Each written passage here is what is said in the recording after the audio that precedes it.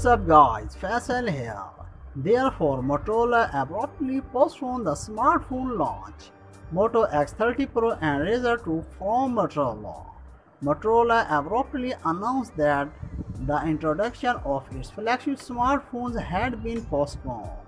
It was scheduled to occur yesterday. No justification is given for this choice.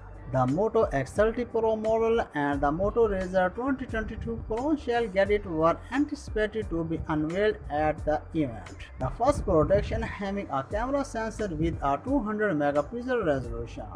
Hours in advance of the announcement, Lenovo Mobile China newly appointed general manager announced via Weibo that the presentation will not go ahead.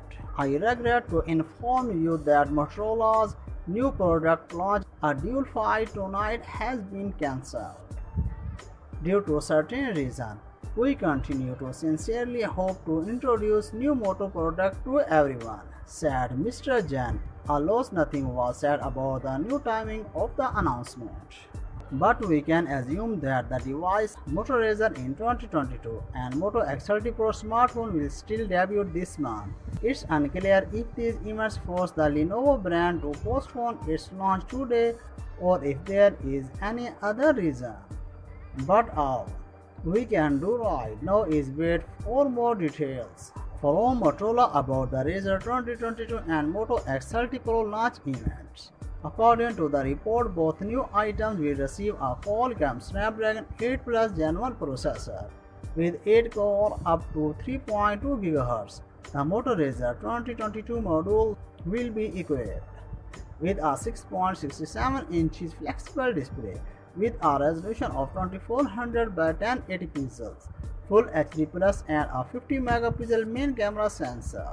The 6.73-inch Full HD Plus AMOLED screen on the upcoming Motorola X30 Pro smartphone will have a refresh rate of up to 144Hz as well as a triple main camera setup with the respective resolution of 200, 50 and 12 megapixel.